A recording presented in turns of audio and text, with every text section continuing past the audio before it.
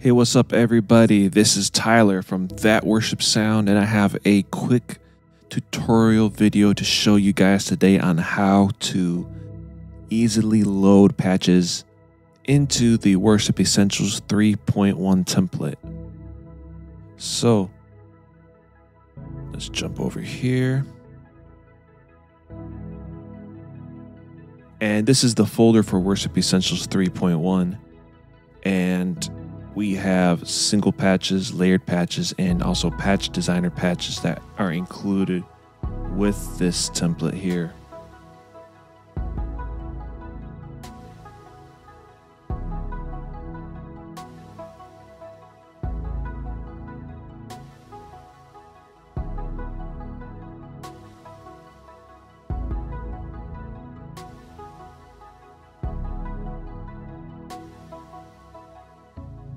As you can see here, by default, this template only comes with 36 patches.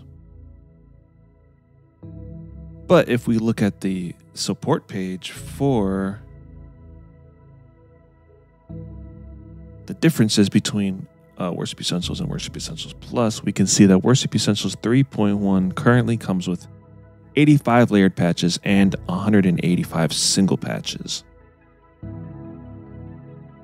So, this only has 35 of those loaded. Not 36, 35, including the user guide is 36.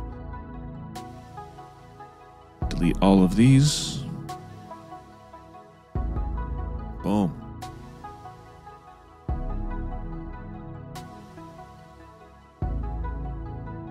To access all of the patches included with the template, we'd create a new patch here Boom, patch library.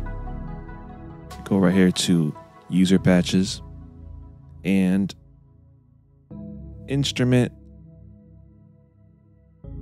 Worship Essentials 3.1, layered and single patches. So by clicking on layered patches, we have access to all 85 that are included. So we can just go to any specific one, uh, oh, that gospel, sure. That way you can try out any of the patches. The ones that are loaded by default over here when you first get the template are some of our favorites. If we loaded up all 85 layered patches, 185 single patches, patch designer, the template might not open except for those people who have like super, super maxed out computers. So you can definitely load them up one by one. Um, another way to do it would be to, and from this folder, you can go to um, the layered patches, find what you want, and you could just drag them and drop them like this. Uh, piano layers, grab Maverick layers. You can just drag and drop them this way too.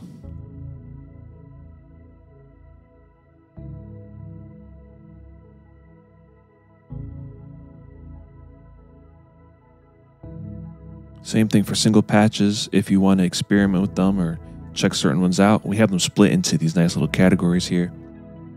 Um, and you can use that to find single patches to use both in MainStage or in Logic. For example, if we wanted a really nice uh, upright piano, for example, go to that category, drag and drop it right in. Same way from inside MainStage, create a new patch.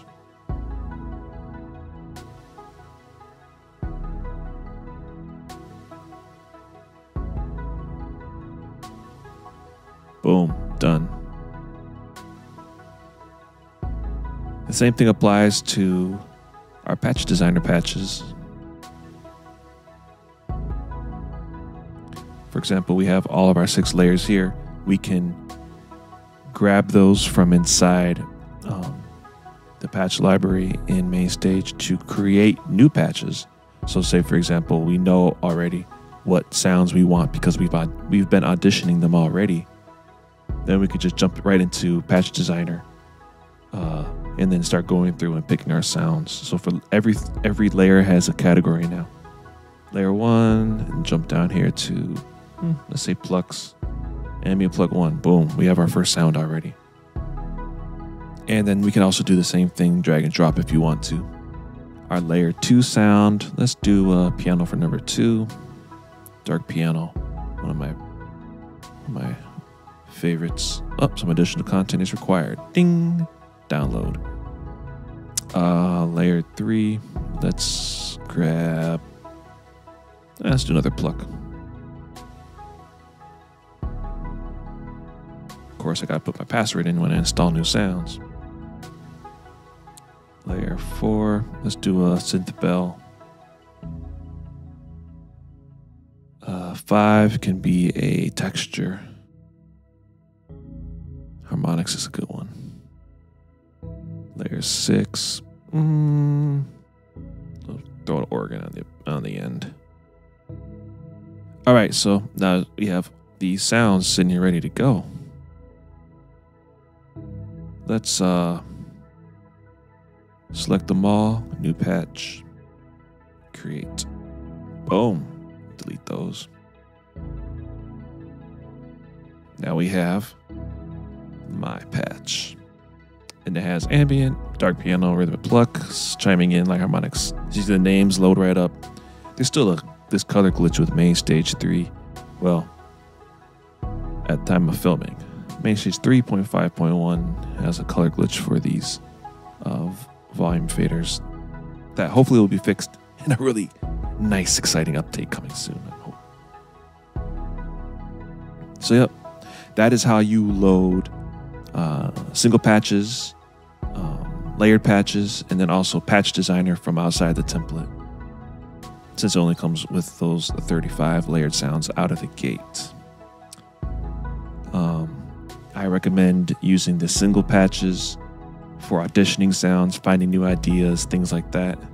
And then use Patch Designer to create new layered patches, or go through the layered patches and tweak them and maybe even rearrange them, things like that to find the perfect sound for you.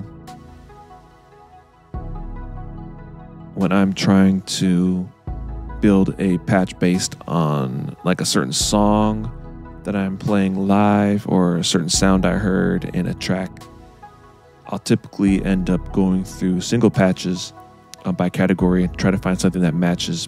And then when it matches, kind of build others, build all the sounds for that song in one patch so I can play it live. Hopefully, this tutorial helps and have a great time using Worship Essentials 3.1. We love it and we know you will too.